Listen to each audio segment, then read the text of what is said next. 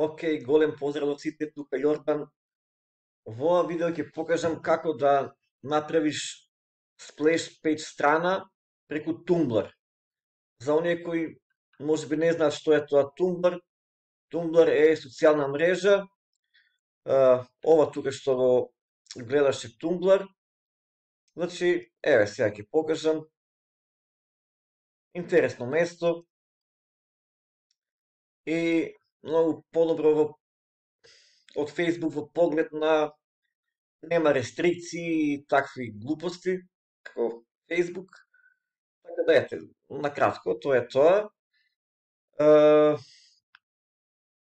значи, а оние е, што може би не знаат што е тоа Splash Page страна, значи, Што е една едноставна страна, значи страна за промоција, ако работиш нешто на интернет, некој, не знам, нека компанија промовираш, некој производ, не е битно. Значи, едноставно креираш некоја таква страна, е, во обично таа страна е проста, едноставна, е, со малку информации, но многу кажува. Е, нешто, например, како ова сега што ќе го Значи, ова е една сплешпи страна креирана на Tumblr и еве, значи тоа е тоа и сега, значи тука ако кликнеш на ова слика, тоа е банер, ќе те пренасочи на таа страна што всушност се рекламира. Тука е исто, значи клик here, краток текст и се ова можеш да го направиш многу лесно на Tumblr. Океј, значи тоа е тоа. А, сега јас ги погледам, значи, е мој акаунт, Tumblr, правиш регистрација прво тука, сетинг на твој акаунт, значи, ќе подесиш некои работи и за да направиш, например, еве како изгледа еден пост. Еве. Тоа е тоа. И сега, значи, за да направиш оваква страна, е, одиш на ова тука фото. Значи, пред се ова е наменето за оние со помало искуство во интернет маркетинг, кои не знаат како се прави блог, сајт, плешпет страна и така разни тие работи во за интернет маркетинг. Значи, имаш две опции, ако сакаш од преку нели твој компјутер или лаптоп да аплодираш или од директно од е, нели преку линк, преку сајт. Океј, значи јас ќе аплодирам од мој лаптоп, значи кликам на ова икона, од фото, одбирам слика, и е, значи ова е тоа, ова го одбрав, окей. Сега тука ќе ставам, тука испод ќе ставам еден краток текст. Сега ќе на страна за да е, ископирам некои работи тука, некои текст и линк. Само малку.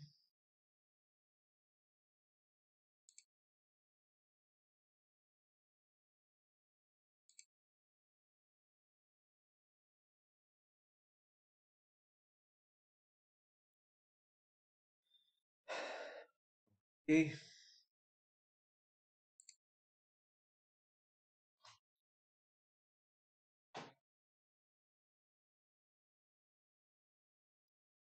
Прво текст, малку. Океј, ова нека биде. И еве што ќе направам. И ова десен клик paste и сега ова тука ќе го ставам како наслов, на пример. Значи ќе го селектирам, кликам ова икона за bold и малку ќе го зголемам на ова Х, затоа што ова е наслов. И е, автоматски се зголеми, како за наслов, тоа е тоа. Тука испод можеш исто да селектираш, но не мора. За што знам, ете така да направиш во болд варијанта, но и не мора. Не е битно, значи тоа е тоа. И на крај ќе спуштиш малку испод да направиш нешто во овој стил, значи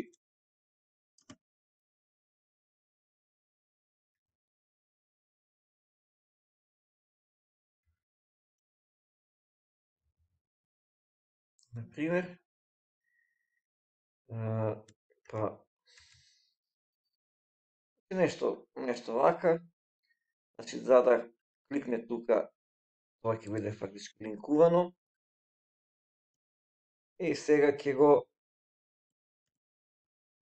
некаде треба на центар да биде сега јас нема толку педантно ова да го правам, чисто да покажам.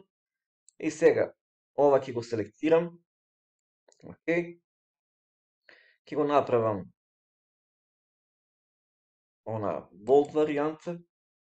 Океј. И само малку ќе ископирам еден линк. Нека види ова.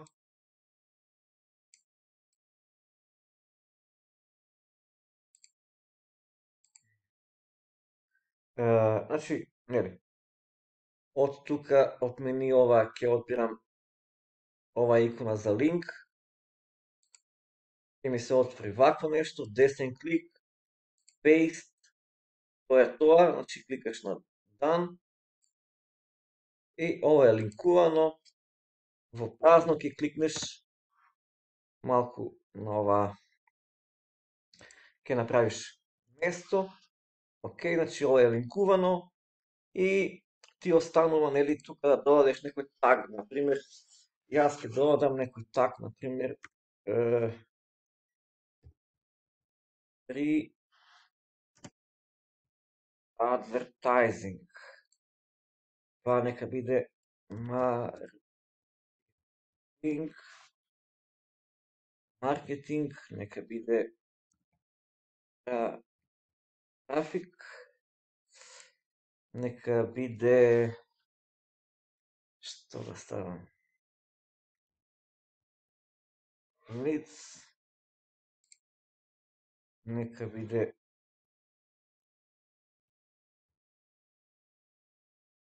не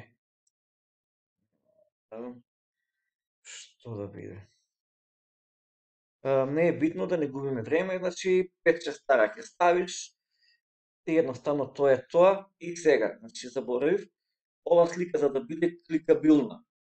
Значи кога ќе кликнеш на слика да се отвори тоа нешто што го рекламираш, тука има ова икона за, за линк, окей, значи, тука ќе кликнеш, ќе се отвори вакво поле, десен клик, paste, значи линк, од тоа што го рекламираш, кликаш тука done, и еве, например, тоа би било тоа, ќе кликнеш на пост,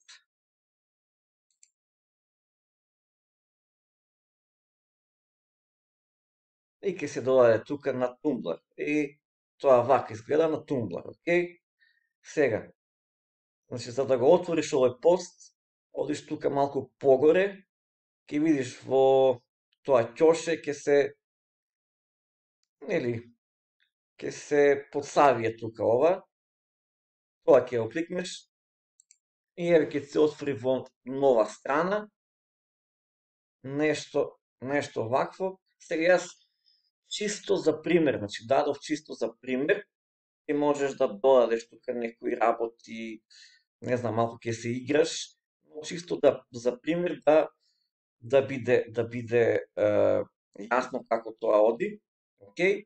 И ако сакаш, значи ако си задоволен, ова да го промовираш, едноставно кликаш овој линк и го копираш од адресар горе, копи, ќе отвориш на на bit.ly сајт за да го скратиш овој долг линк. Океј.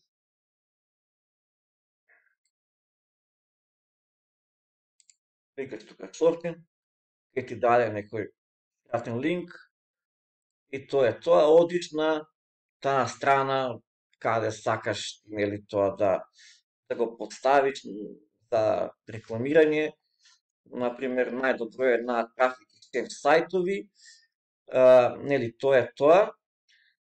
А, е сега ако сакаш некоја друга позадина, значи ти можеш ова да го смениш, да додадеш текст, не знам што, значи јас би одел на оваа варијанта што поедноставно тоа подобро. А, значи тоа е тоа и сега е, ако сакаш да смениш ова, да ти биде ова позадина во некоја друга боја, тоа е многу лесно. Ќе одиш од твој профил, ќе спуштиш најдоле, ова тука Edit Appearance,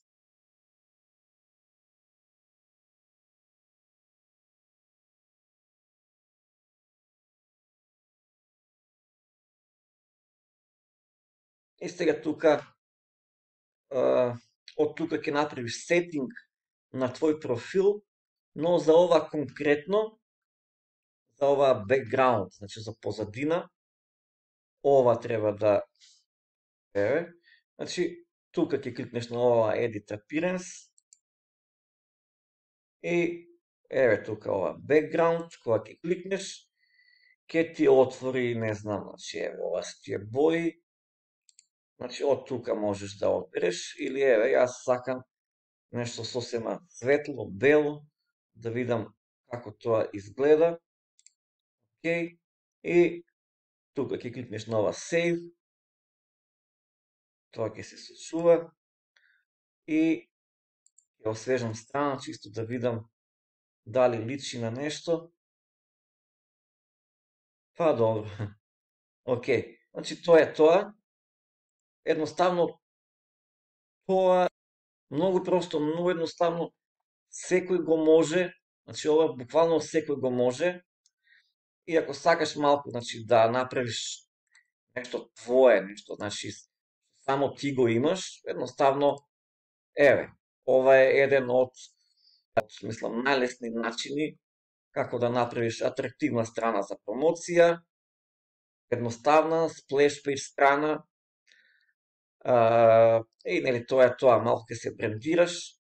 И чисто да покажам дека ова функционира, еве ќе кликнам на ова тука на слика и ќе ми отвори страна, нели тој линк што го поставив.